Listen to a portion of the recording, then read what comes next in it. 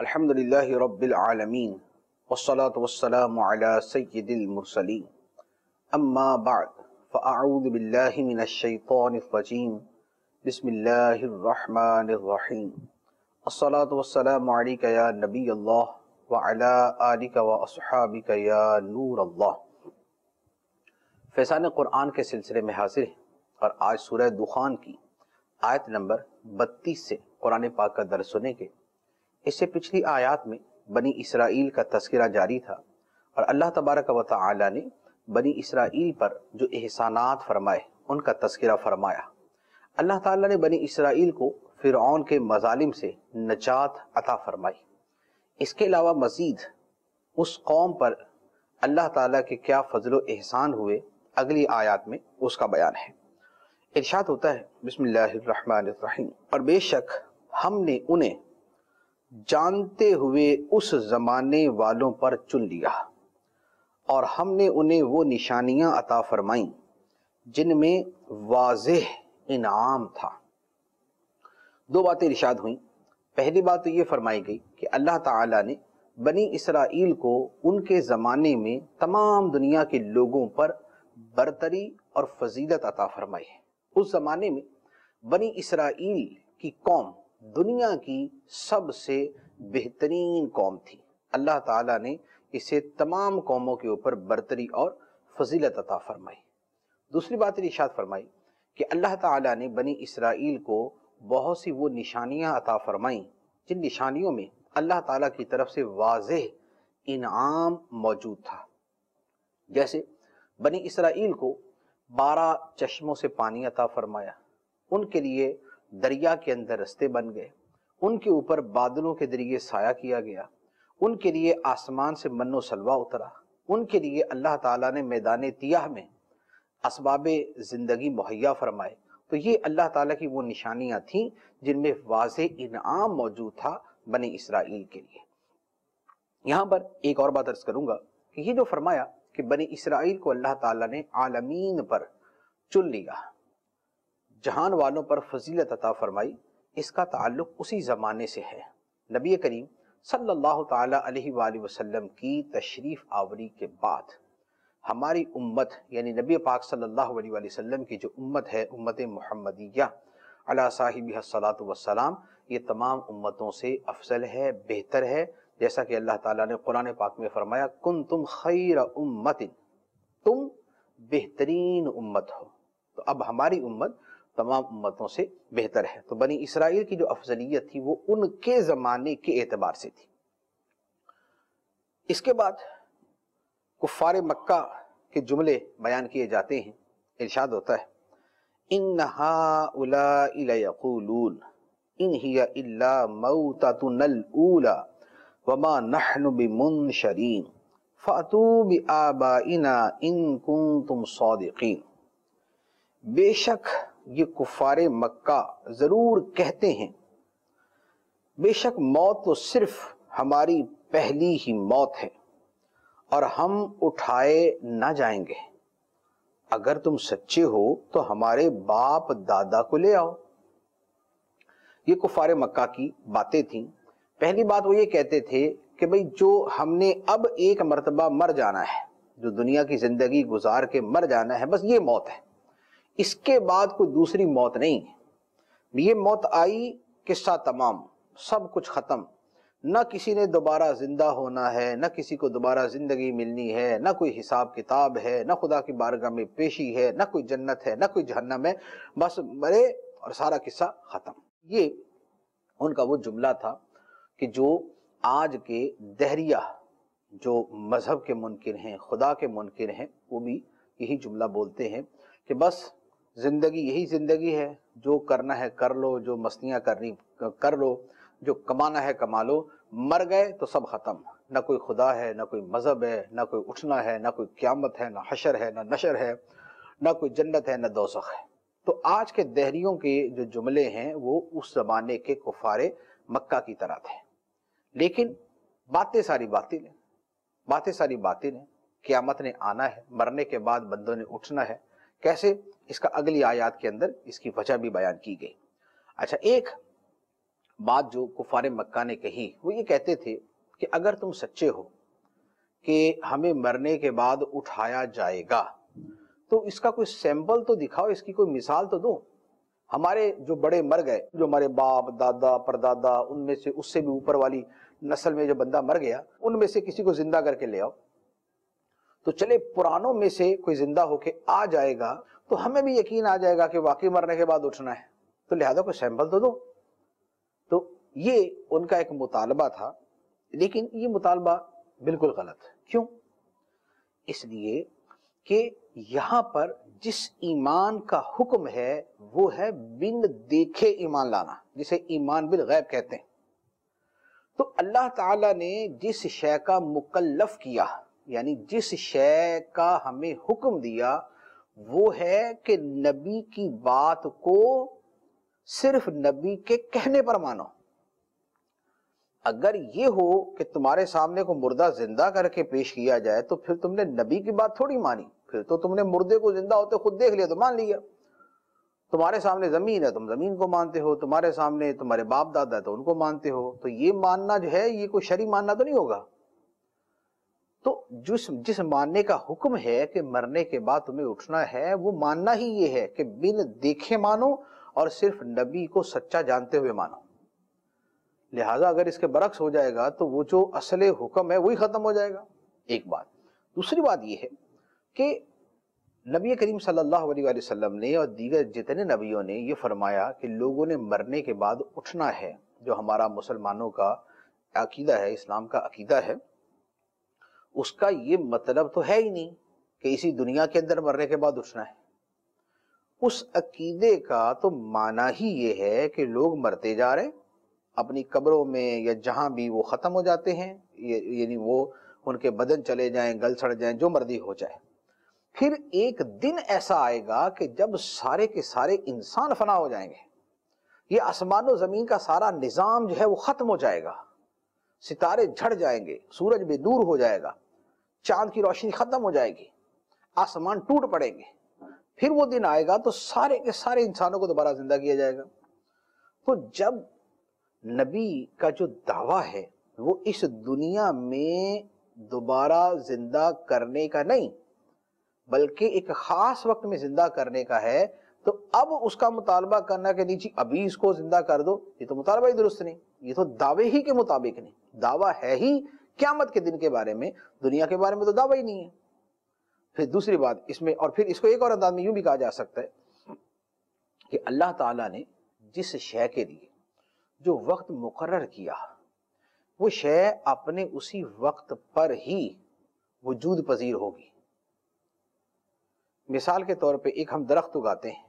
اب ہم نے بیج بویا اور ہم بولے کہ بھائی اس بیج سے یہ آم کا بیج ہے اور اس سے آم کا درخت بنے گا اور اس پہ آم کا پھل لگے گا۔ اب کوئی آدمی بولے میں نہیں مانتا۔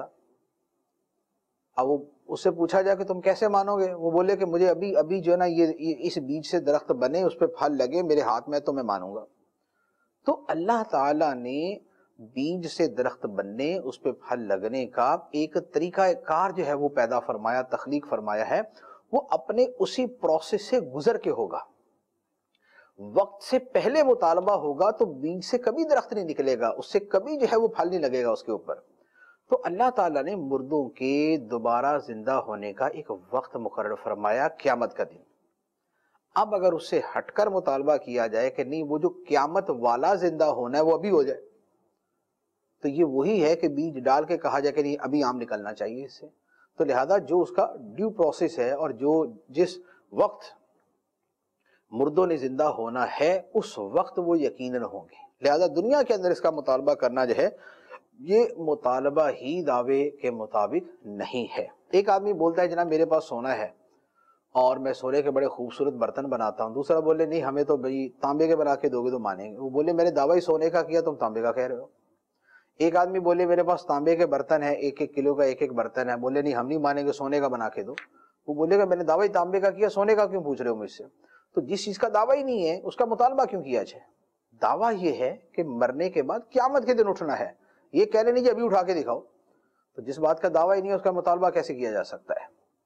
اب اس کے بعد اللہ تعالیٰ ارشاد فرماتا ہے اور یہ انہی کفار مکہ کو تنبیہ ہے اور ان کو ایک عبرت کا واقعہ، ان کو جو ہے وہ اجمالاً بیان کیا گیا۔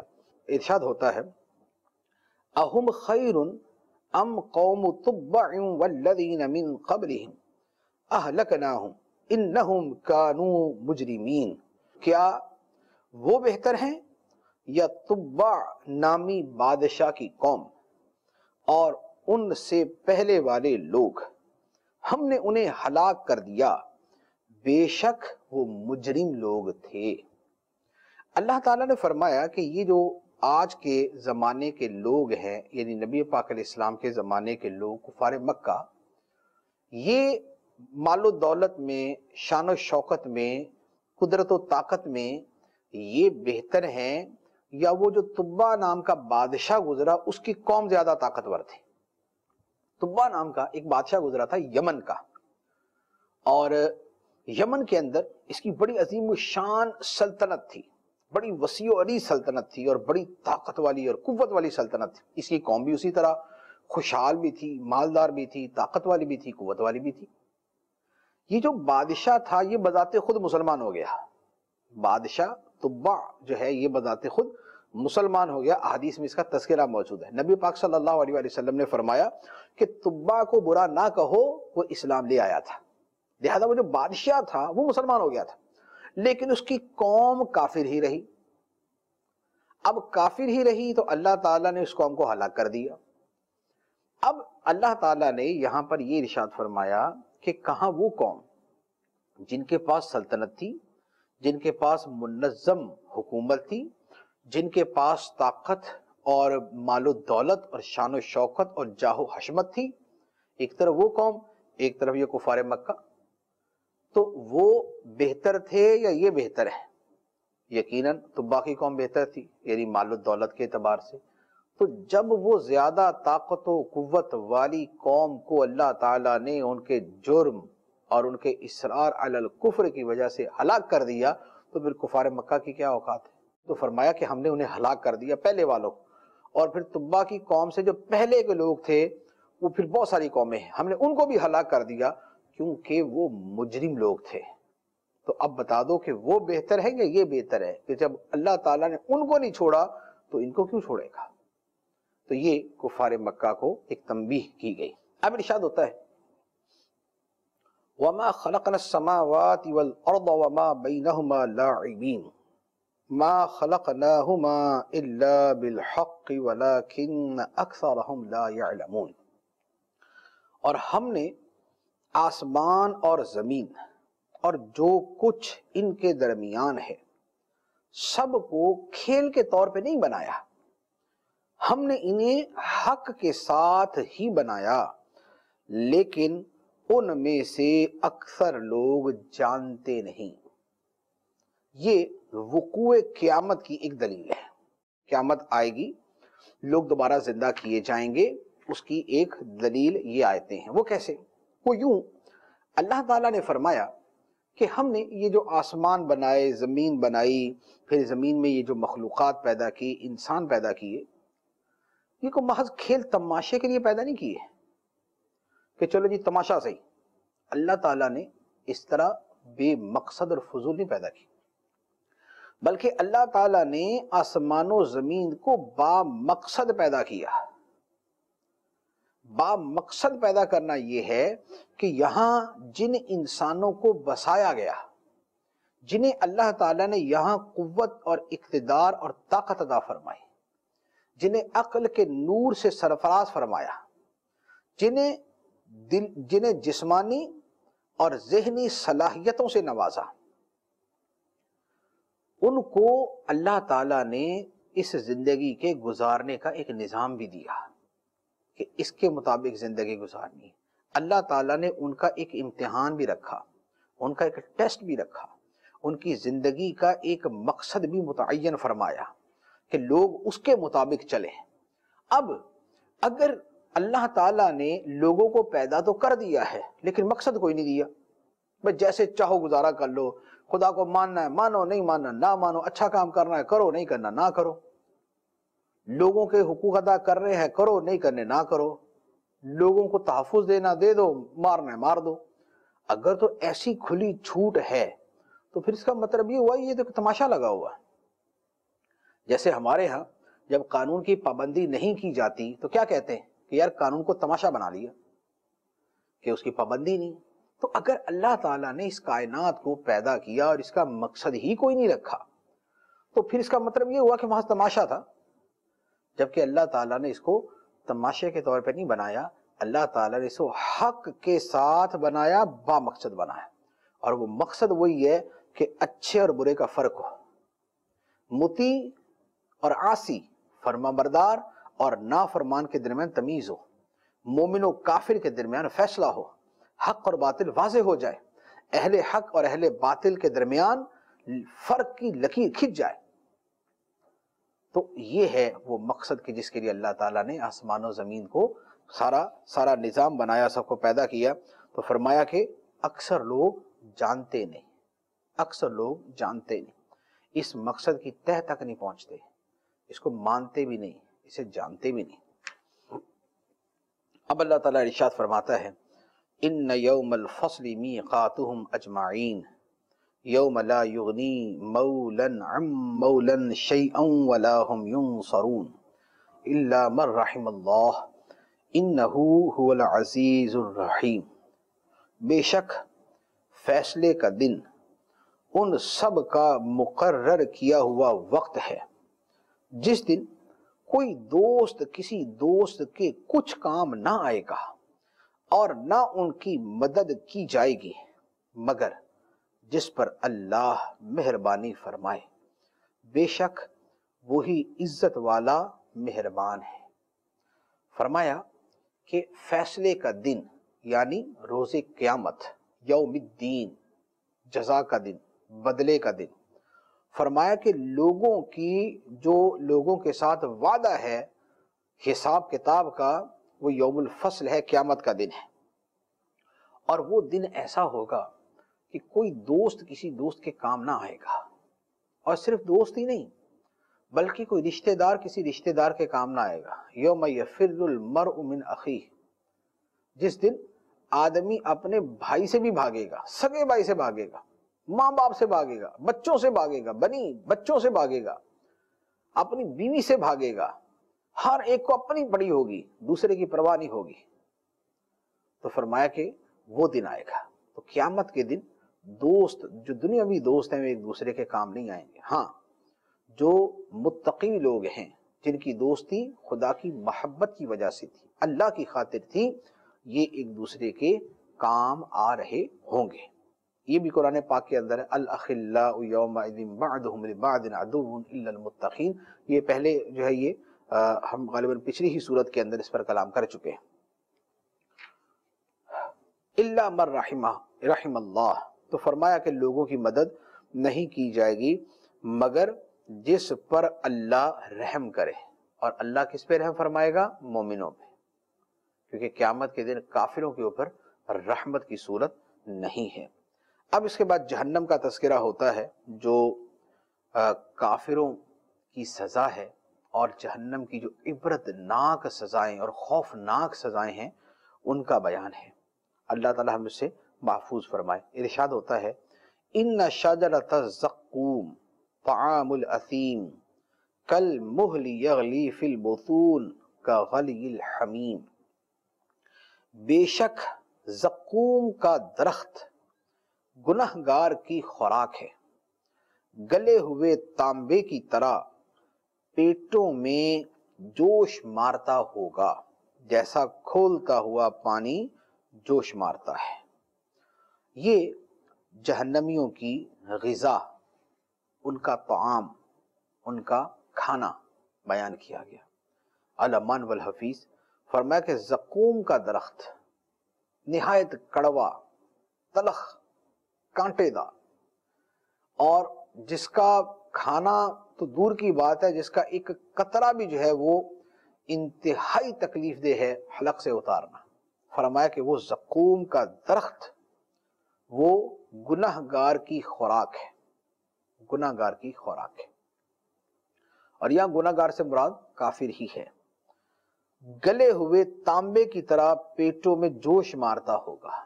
جیسے تانبا جب پگھلایا جاتا ہے، جو جن لوگوں نے اس کو دیکھا ہو، تانبا جب پگھلایا جاتا ہے تو وہ یوں ہلتا ہے، اسے بھاپ اڑ رہی ہے، اسے ہیٹ جو ہے وہ نکل رہی ہے، وہ جوش مار رہا ہوتا ہے۔ جیسے پانی کو ابالے تو پانی جوش مار رہا ہوتا ہے، اس کی شاں شاں کی آوازیں آ رہی ہیں اور پانی کا پتہ چل رہا ہے کہ پانی انتہائی گرم ہے۔ اسی طرح تانبا جو ہے وہ جب پگھلایا جاتا ہے تو اس کی بھی ایسی ہی کیفیت ہوتی ہے۔ تو فرمایا کہ یہ زقوم کا درخت جو جہنمیوں کی خوراک ہے، یہ ان کے پیٹ کے اندر ایسے ہی جوش مار رہا ہوگا جیسے تانبا جوش مارتا ہے۔ جیسے گرم پانی جوش مارتا ہے، اس طرح یہ جوش مار رہا ہوگا۔ اس درخت کا تذکرہ جو ہے قرآن پاک میں اور جگہوں پر بھی مذکور ہے۔ اللہ تعالی ہم اس سے محفوظ فرمائے۔ اب ارشاد ہوگا خذوہ فاعتلوہ الى سواء الجحیم، ثم صبوا فوق رأسه من عذاب الحمیم۔ اسے پکڑو، پھر سختی کے ساتھ اسے بھڑکتی آگ کے درمیان کی طرف گسیٹتے لے جاؤ۔ پھر اس کے سر کے اوپر کھولتے پانی کا عذاب ڈالو۔ یہ اللہ تعالیٰ فرشتوں کو حکم دے گا۔ جب میدان محشر میں حساب کتاب سے فارغ ہوں گے، تو مجرموں کے بارے میں اللہ تعالیٰ فرشتوں کو حکم دے گا کہ انہیں پکڑو اور ان کو سختی کے ساتھ گھسیٹتے ہوئے بھڑکتی آگ کے درمیان میں لے کے جاؤ اور پھر ان کے سر کے اوپر کھولتا ہوا پانی ڈالو۔ یہ سزا در سزا، ذلت بھی ہے، سزا بھی ہے۔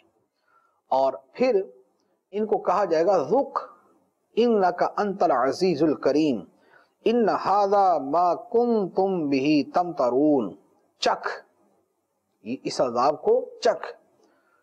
تو تو بڑا عزت والا، کرم والا تھا۔ بے شک یہ وہ ہے جس میں تم شک کرتے تھے۔ یعنی اب ان کی مزید اس کے اندر تحقیر ہے کہ انہیں جہنم کے وہ غذائیں شدید اور علم انتہائی تکلیف دہ غذائیں کھانے کو دے کر فرمایا جائے گا کہ اب چکھ ان کو۔ تو تو بڑا عزت والا تھا اور بڑا دنیا کے اندر کریم شمار کیا جاتا تھا، کرم والا شمار کیا جاتا تھا، اب چکھ ان کو۔ اس آیت کے بارے میں دو قول ہے ایک تو یہ ہے کہ یہ جملہ جو ہے، یہ ابو جہل کے بارے میں نازل ہوا۔ یہ آیت مبارکہ ابو جہل کے بارے میں نازل ہوئی۔ ابو جہل نے کہا کہ مکے کے پہاڑوں کے درمیان مجھ سے زیادہ عزت والا، کرم والا کوئی نہیں۔ تو اب اس کے اسی جملے کا بدلہ اس کو جہنم میں دیا جائے گا کہ جب جہنم میں ذلیل و رسوا کر دینے والا عذاب اسے ہوگا اور زقوم کا اسے جو ہے وہ درخت کھانے کو ملے گا، سر پہ کھولتا پانی ڈالا جائے گا۔ ساتھ میں کہا جائے گا، چکھ، اس عذاب کو چکھ۔ تو تو بڑی عزت والا ہے نا۔ تو تو بولتا تھا میں بڑی عزت والا ہوں، بڑے کرم والا ہوں۔ تو بڑی عزت والے اور کرم والے ہو تو چکھو اس کو۔ اور تو ایک کال تو یہ ہے کہ یہ اس خاص موقع پر یہ نازل ہوئی۔ لیکن یہ بھی ہے کہ یہ ہر اس جہنمی کو کہا جائے گا جو اس کا مستحق ہوگا۔ کہ دنیا میں تو بڑی عزت والا تھا، کرم والا تھا، اب چکھ عذاب کو اب اس سے وہ لوگ عبرت حاصل کریں، بطور خاص۔ جو دنیا میں بڑے معزز ہیں۔ یہ لفظ عزیز جو ہے، یہ یہاں پر معزز کے معنی میں اس کا مطلب غلبے والا بھی ہوتا ہے۔ وہ بھی کرنے تو ٹھیک ہے، لیکن یہاں آیت کے اعتبار سے یہاں پر اس کا ترجمہ جو ہے وہ معزز ہے۔ تو دنیا میں جو بڑے معزز ہیں، بڑے کریم ہیں، جن کا بڑا سٹیٹس ہے، جن کا بڑا مقام ہے، عہدہ اونچا، اقتدار ہاتھ میں، منصب بلند، اور نوکر چاکر آس پاس، ہر بندہ سر جھکا کے ملتا ہے۔ ہر بندہ جو ہے وہ بچھا بچھا جاتا ہے سامنے۔ بڑی عزت ہے، بڑی عزت ہے۔ لیکن اگر بد اعمالیوں کی وجہ سے، بد کرداریوں کی وجہ سے اور شراب اور بدکاری اور گندے کام، غلیظ کام اور فحاشی عیاشی کو پھیلانے اور گانے باجے سننے اور گناہوں کے اندر ڈوبے رہنے اور دوسروں کو گناہ کی محفل میں دعوت دینے، ان حرکات کی وجہ سے اگر جہنم کے اندر انہی معزز لوگوں کو یہ جملہ کہا گیا کہ چک حضاب تو تو بڑی عزت والا تھا، تو تو بڑا معزز تھا۔ لوگ بڑے سر سر کہہ کے بلاتے تھے، لوگ بڑے جناب جناب کہتے تھے، بڑے جناب جی جی کے ساتھ بات کرتے تھے۔ کسی آدمی میں جرت نہیں تھی، آنکھ اٹھا کے تمہیں دیکھ سکے، آنکھ سے آنکھ ملا کے بات کر سکے، تمہاری آواز پہ اپنی آواز کو اونچی کر سکے۔ تو تو بڑا عزت والا تھا۔ لیکن تو نے خدا کی اس دی ہوئی عزت کو خدا کی فرما برداری میں استعمال نہیں کیا۔ تو نے اپنے اس عزت کو، غلبے کو، اس مال و دولت کو تکبر میں، فخر میں، اسراف میں، گناہ میں، بدکاری میں، شراب میں اور جو ہے عیاشی میں اور فحاشی میں اور بے حیائی کے اندر تم نے استعمال کیا، تو تو نے خدا کی اس دی ہوئی عزت کو جب بدکاریوں میں استعمال کیا اور گناہوں میں استعمال کیا، تو پھر آج اس کا مزہ بھی چکھ۔ آج ان گناہوں کا مزہ بھی چکھ، عذاب چکھ۔ تو تو بڑی عزت والا، بڑے کرم والا ہے۔ جو معزز کہلانے والے ہیں اور جو بڑے جو ہے اونچے درجے والے کہلانے والے ہیں، ان کو بہت زیادہ ڈرنا چاہیے، بہت زیادہ غور کرنا چاہیے۔ یہ عذاب کے بعد اب متقین کا مقام و مرتبہ بیان کیا جاتا ہے۔ ارشاد ہوتا ہے، ان المتقین فی مقام امین، فی جنات وعیون یلبسون من سندس و استبرق متقابلین كذلك وزوجناهم بحور عين يدعون فيها بكل فاكهة آمنين. لا يذوقون فيها الموت إلا الموتة الأولى. ووقاهم عذاب الجحيم. فضلا من ربك. ذلك هو الفوز العظيم. بے شک ڈر والے متقی لوگ امن والی جگہ میں ہوں گے، باغوں اور چشموں میں۔ باریک اور موٹے ریشم کے لباس پہنیں گے۔ ایک دوسرے کے آمنے سامنے ہوں گے۔ یوں ہی ہوگا۔ اور نہایت سیاہ اور روشن بڑی آنکھوں والی عورتوں سے ہم نے ان کا نکاح کر دیا۔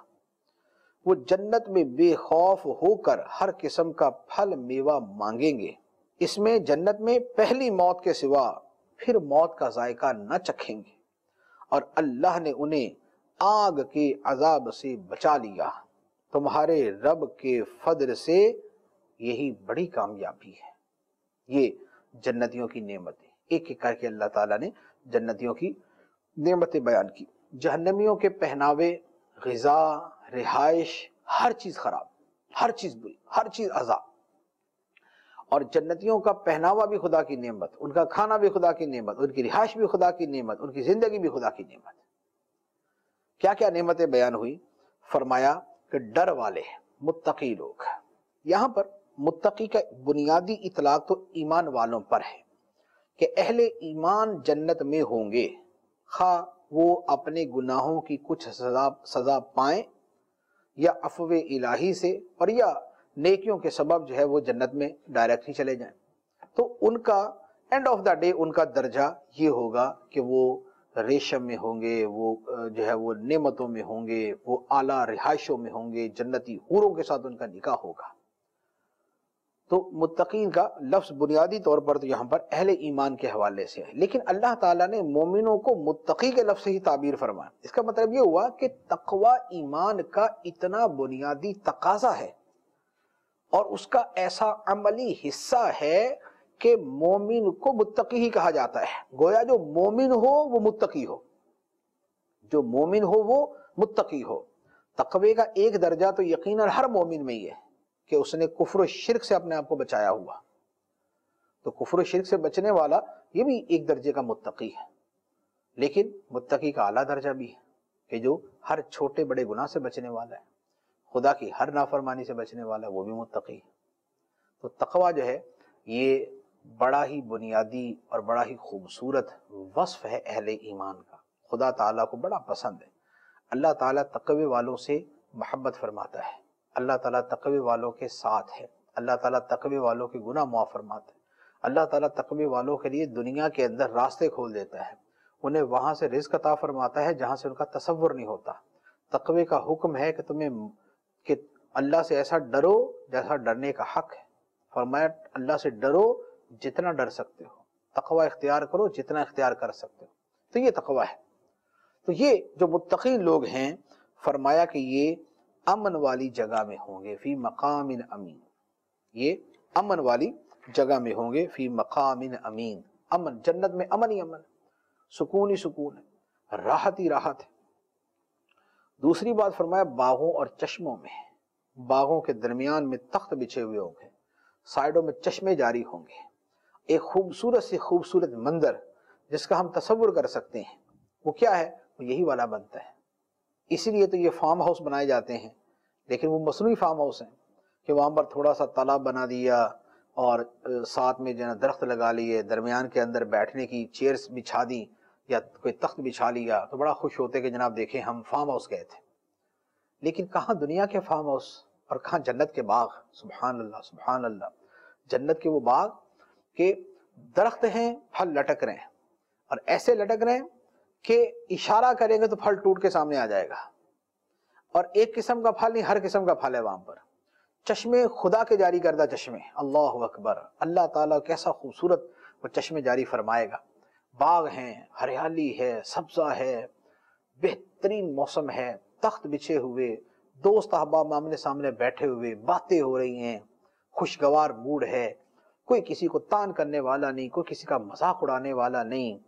اللہ تعالیٰ کی طرف سے جو غلمان ہیں، وہ شراب کے جام مشروب پیش کریں گے، پانی پیش کریں گے شہد کے جام پیش کریں گے۔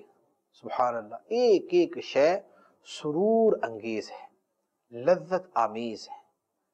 تو یہ جنت کا منظر ہوگا۔ اور فرمایا کہ اس کے ساتھ وہ یہ جو لطف اندوز ہوں گے اور جو یہ چیزوں کا مطالبہ کریں گے اور جن چیزوں کو استعمال کریں گے، یہ بے خوف ہو کے کریں گے۔ بے خوف ہو کر۔ ایسا نہیں ہے کہ جنت کے پھل کا مطالبہ کریں گے تو ڈر ہوگا، پتہ نہیں ملے گا یا نہیں، یا کچھ عرصے تک تو ملتا رہے گا، بعد میں بند ہو جائے گا، کہا جائے گا بھی ختم، چلے بھی چیز ختم ہوگی سٹاک ختم، ایسا نہیں۔ بے خوف مانگتے رہیں گے۔ نہ موت کا ڈر، نہ پھل کے ختم ہونے کا ڈر، نہ زیادہ کھا کر پیٹ کی خرابی کا ڈر۔ جتنا مرضی کھائیں، جتنا مرضی کھائیں، نہ پیٹ خراب ہو، نہ طبیعت میں متلی آئے، نہ غنودگی تاری ہو، نہ نیند آنا شروع ہو جائے، کچھ بھی۔ نہیں تو بے خوف ہو کے جنت کے پھلوں کا مطالبہ کریں گے۔ پھر جنت کے اندر موت نہیں، سوائے وہ پہلی موت کے، وہ جو دنیا میں آ گئی، وہ جو دنیا میں آ گئی۔ اس موت کے علاوہ جنت کے اندر کوئی موت نہیں ہے۔ تو یہ جو گزر گئی، یہ تو گزر جائے گی۔ پھر جنت میں ہمیشہ ہمیشہ ہمیشہ ہمیشہ کی زندگی ہے زندگی ہے زندگی ہے۔ اور اور اللہ تعالیٰ کی ایک اور بڑی نعمت یہ کہ اللہ تعالیٰ نے انہیں جہنم سے بچایا ہوا ہوگا۔ یہ بھی کوئی چھوٹی نعمت نہیں ہوتی۔ ایک آدمی کو ایک دن احسانات کرے، دوسرے دن سزا دے دیں، تو وہ بیچارہ تو بین بین ہی رہ جائے گا۔ تو اللہ تعالیٰ نے ان کو جہنم سے بچایا ہوگا، جنت میں داخل کیا ہوا ہوگا۔ اور یہ سب کیا ہے؟ فرمایا، تیرے رب کا فضل ہے۔ یہ سب کیا ہے؟ تیرے رب کا فضل ہے۔ یہ اللہ تعالیٰ کا فضل ہے کہ اللہ تعالیٰ اپنے فضل سے یہ سب کچھ عطا فرمائے گا۔ اعمال کے صدقے تو اگر صرف اعمال کا بدلہ دیکھا جائے تو ہمارے عمل ہیں کتنے؟ تو تھوڑا بہت اصلاح بنے گا اس کا۔ اگر ہمارے عمل کو دیکھا جائے تو ہم تو چوبیس گھنٹے کے اندر پانچ نمازیں پڑھ کے فارغ۔ بہت تیر مارا تو ساتھ میں تحجد پڑھ لی۔ بہت محنت کی تو چند اور چیزیں کر لی۔ تو ٹھیک ہے جی اگر سو سال کی زندگی اچھے کاموں میں گزاری تو سو سال کی اگلی آگے آخرت میں زندگی مل جائے مزہ اٹھانے کے لیے۔ لیکن عمل تو کیے پچیس تیس چالیس سال۔ اور بدلہ ملے گا خربوں سے بھی زیادہ سال۔ خرب بھی متنا ہی ہے، لا متنا ہی سال۔ تو بدلہ اتنا عظیم، بدلہ اتنا عظیم۔ تو وہ بدلہ تو صرف عمل کا نہیں، جنت میں داخلے سے لے کر آگے لا متناہی زمانوں تک جو لذتیں ہیں اور جو مزے ہیں اور جو نعمتیں ہیں، یہ کیا ہے؟ فضل من ربی کا یہ تیرے رب کا فضل ہے۔ اعمال کا عمل دخل ہے۔ عمل کریں گے تو خدا کا قرب ملے گا، اللہ تعالیٰ کی رضا ملے گی۔ بے بغیر بغیر جو ہے وہ عذاب کے اور سزا کے جنت میں داخلہ مل جائے گا۔ اور ہو سکتا ہے کہ بغیر حساب کے جنت میں داخلہ مل جائے۔ عمل کے بڑے فضائل ہیں، بڑے فوائد۔ تو لہذا عمل بھی ہونا چاہیے۔ عمل بھی ہونا چاہیے۔ عمل سے روگردانی نہ ہو۔ فضل الہی بھی عموماً عمل صالح پر ہوتا ہے۔ نبی کریم صلی اللہ علیہ وآلہ وسلم سے بڑھ کر کس پر اللہ کا فضل؟ جن کے بارے میں اللہ تعالیٰ نے فرمایا وَقَانَ فَضْلُ اللَّهِ عَلَيْكَ عَظِيمًا۔ آخرت تو آخرت، اے محبوب، تم پہ تو خدا کا دنیا کے اندر ہی بڑا عظیم فضل ہے۔ تو جن پر اللہ تعالیٰ کا فضل عظیم تھا، نبی کریم صلی اللہ علیہ وآلہ وسلم، ان کا عمل مبارک کیسا تھا؟ نمازیں، تہجد، عبادت، تلاوت، ذکر اللہ، خوف خدا، اصلاح امت، شفقت علی الخلق مہمان نوازی، گھر والوں سے حسن سلوک، بچوں سے پیار، دوسروں کی عزت۔ تو نبی پاک علیہ السلام کیسا عمل مبارک تھا؟ تو فضل الہی ہو تو عمل صالح بھی ہو۔ تو اللہ تعالیٰ کا ہم پہ دنیا میں فضل ہے۔ اللہ تعالیٰ نے ہمیں ایمان کی دولت سے نوازا ہے۔ ہمیں پتہ نہیں کتنی آسائشیں عطا فرمائی کتنی ایک تکلیف ہے تو ایک ہزار آسانیاں بھی ساتھ موجود ہیں۔ تو ہمیں خدا کا شکر ادا کرتے ہوئے اچھے عمل کرنے چاہیے۔ تو فرمایا یہی بڑی کامیابی ہے۔ اصل کامیابی آخرت کی کامیابی دنیا میں ایک آدمی نے ایک خرب روپیہ کما لیا تو کتنا عرصہ استعمال کرے گا؟ ایک خرب روپیہ ستر سال کی زندگی ہوگی، اسی کی ہوگی نبے کی ہوگی، سو کی ہو جائے گی، اس کے بعد ختم۔ پیسہ پڑا بندہ نہیں ہے۔ پیسہ باقی، بندہ باقی نہیں ہے۔ اور پھر ستر کے بعد تو ویسے بندہ فارغ نہ وہ اس طرح کھا سکے گا، پیٹ خراب ہو جائے گا، نہ اس طرح ان پیسے سے انجوائے کر سکے گا، نہ سفر کر سکتا ہے۔ درمیانہ درمیانہ چلے گا۔ تو اصل کامیابی آخرت کی کامیابی، جس نے آخرت کمالی اس نے کامیابی حاصل کر لی۔ دنیا کمالی تو دنیا کی کامیابی ہے، اس کے بھی فائدے ہیں، اسے بھی اچھے کاموں میں، اچھی نیت سے کیا جا سکتا ہے اور کرنا چاہیے۔ لیکن جو حقیقی کامیابی ہے، وہ آخرت کی کامیابی۔ اب اس کے بعد ارشاد ہوتا ہے، فَإِنَّمَا يَسَّرْنَاهُ بِلِسَانِكَ لَعَلَّهُمْ يَتَذَكَّرُونَ فَارْتَقِبْ إِنَّهُمْ مُرْتَقِبُونَ۔ تو ہم نے اس قرآن کو تمہاری زبان میں آسان کر دیا تاکہ لوگ نصیحت حاصل کریں۔ تو تم انتظار کرو، بے شک وہ بھی انتظار کر رہے ہیں۔ فرمایا کہ ہم نے قرآن عربی زبان میں نازل فرمایا تاکہ اے حبیب علیہ السلام، آپ کی جو عرب کی قوم ہے، وہ اسے آسانی سے سمجھ سکیں۔ کیونکہ ابتدان تو اہل عرب کے اوپر قرآن اترا، بعد میں یہ قرآن پھیلتا پھیلتا دوسروں تک گیا۔ دنیا کے اندر ہزاروں زبانیں تو اب یہ تو نہیں ہو سکتا تھا کہ دنیا کے اندر دس ہزار زبانوں میں اللہ تعالیٰ قرآن نادر کر دیتا۔